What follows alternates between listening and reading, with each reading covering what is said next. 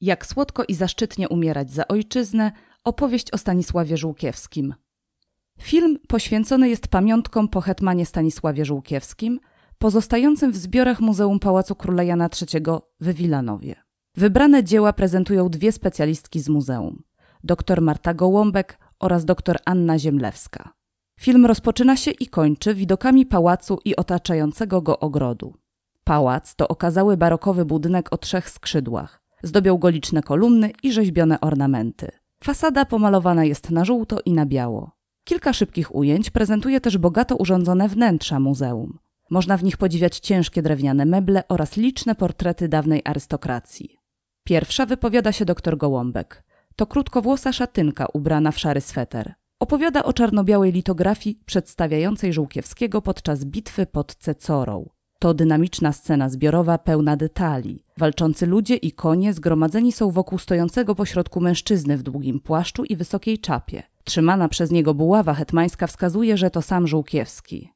Następnie przenosimy się do kaplicy pałacowej o ścianach wyłożonych białym żółkowanym marmurem. To tam znajduje się złożona z dwóch części płyta sarkofagu hetmana, o której opowiada doktor Ziemlewska. Kobieta ma blond włosy do ramion i okulary w granatowych oprawkach. Do kaplicy prowadzą ciężkie kute drzwi zdobione płaskorzeźbami. Ołtarz zdobi figura Matki Boskiej z dzieciątkiem. Kaplica nakryta jest kopułą. Wpadające przez okulus światło podkreśla gęsto pokrywające jej ściany rzeźbione ornamenty roślinne.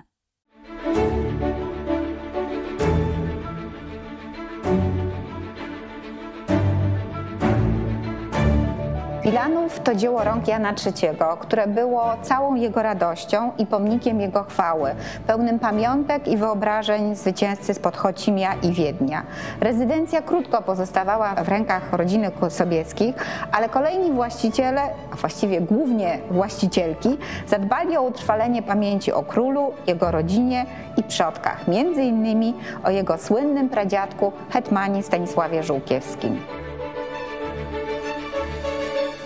Stanisław Żółkiewski, bliski współpracownik Jana Zamojskiego, zwycięzca z Podkłuszyna, który wprowadził polskie oddziały na moskiewski Kreml, założyciel Żółkwi, kanclerz i hetman wielki koronny, zginął podczas wyprawy mołdawskiej w 1620 roku. Jego bohaterska śmierć odbiła się echem wśród współczesnych i zdominowała wyobrażenie o hetmanie wśród potomnych. Syn hetmana, Jan, ciężko ranny pod Cecorą i wzięty do niewoli, po swoim oswobodzeniu kazał usypać na miejscu pamiętnej bitwy Kurhan, a na nim postawić pomnik, na którym wyryto słowa nawiązujące do pieśni Horacego. Kimkolwiek jesteś, ucz się ode mnie, jak słodko i zaszczytnie jest umierać za ojczyznę. W kulcie hetmana, wielkiego przodka, wychowywała swoich synów Marka i Jana Teofila Sobieska, wnuczka hetmana. Litografia z przedstawieniem Żółkiewski pod Cycorą należy do serii odbitek, które dokumentują ważne epizody z dziejów Rzeczpospolitej. Wzorami dla y, serii litografii były prace malarskie uznanych ówczesnych malarzy. Seria powstała około 1862 roku, o czym możemy dowiedzieć się dzięki adnotacjom pojawiającym się w ówczesnej prasie. Seria została wyprodukowana przez niezwykle prężnie działający około połowy XIX wieku zakład litograficzny, a kolejno litograficzno-artystyczno-fotograficzny prowadzony przez Maksymiliana Fajansa w Warszawie przy ulicy Długiej. Doskonałym przykładem takiej realizacji, takiego upowszechnienia y, dzieł malarstwa, które poprzez litografię mogły trafiać pod strzechy, y, jest właśnie scena należąca do kolekcji wilanowskiej wraz z pozostałymi y, scenami z wspomnianego cyklu, ze wspomnianej serii Żółkiewski pod Cecorą. Fakt zachowania się tej serii litografii, a szczególnie właśnie tego przedstawienia e, e, dokumentującego e, życie hetmana Stanisława Żółkiewskiego jest szczególnie interesujący, kiedy rozpatrujemy dzieje kolekcji wilanowskiej. Przypomnieć trzeba, że w 1805 roku dawna rezydencja Jana III stała się muzeum i ówcześni właściciele Wilanowa starali się pozyskiwać jak najciekawsze, różnorodne zbiory artystyczne, dzieła sztuki do, do istniejącego tutaj muzeum. Kryterium doboru były nie tylko wartości artystyczne, nie tylko wartość materiału oraz e, wyjątkowy i jednostkowy kunszt tych przedmiotów. E, potoccy, a więc e, ci opiekunowie Wilanowskiego Muzeum interesowali się też w sposób szczególny właśnie takimi pomniejszymi dziełami, jak, do jakich zaliczyć można na przykład serię tych XIX-wiecznych litografii, ponieważ o ich wartości stanowił nie materiał i nie jednostkowy charakter e, tych przedmiotów, ale ich treść i zawartość ikonograficzna, czyli właśnie e, owo dokumentowanie ważnych epizodów z historii Polski.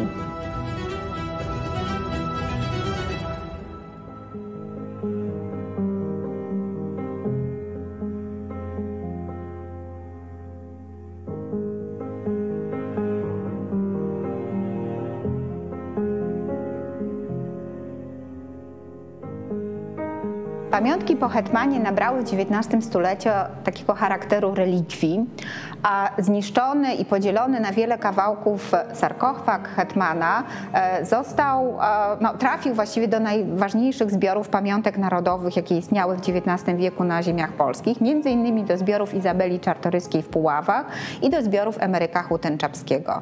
Pod koniec XIX wieku e, fragmenty sarkofagu trafiły również do Wilanowa. Nie wiemy, czy stało się to za sprawą Aleksandry Augustowej Potockiej, czy jej kuzyna Ksawerego Branickiego, kolejnego właściciela e, Wilanowa.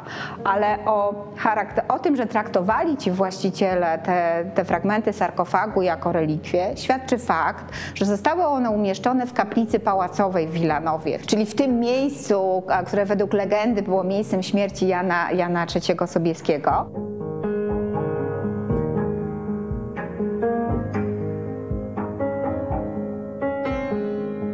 Na pierwszej płycinie, ponad postacią klęczącego przed krzyżem mężczyzny, widnieje łacińska inskrypcja, która po polsku brzmi: Powstanie kiedyś z kości naszych mściciel. Słowa te, zaczerpnięte z Eneidy Wergiliusza, miały znaczenie proroctwa. Zwycięstwa Jana III nad Tatarami i Turkami stały się dla potomków Stanisława Żółkiewskiego wypełnieniem tej przepowiedni.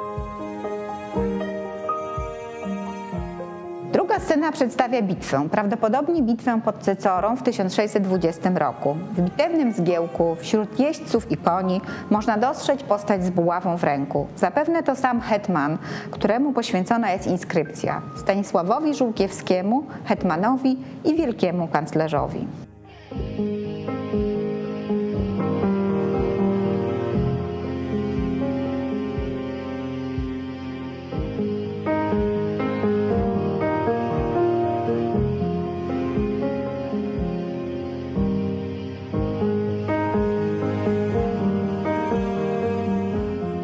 Pamiątki po hetmanie Stanisławie Żółkiewskim znajdują się w zbiorach różnych skarbców i muzeów, m.in. Muzeum Książąt Czartoryskich. W roku 2020, roku, który został przez Sejm Rzeczypospolitej ogłoszony rokiem hetmana Stanisława Żółkiewskiego, była okazja właściwie oglądać głównie wirtualnie poprzez, poprzez internet te obiekty, ale mamy nadzieję, że wkrótce będzie możliwość obejrzenia ich na salach wystawowych, już tak na żywo, w prawie bezpośrednio. Bardzo serdecznie zapraszamy.